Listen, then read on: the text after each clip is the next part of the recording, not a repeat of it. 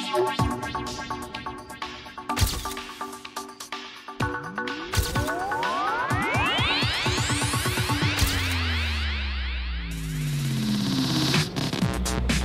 more here.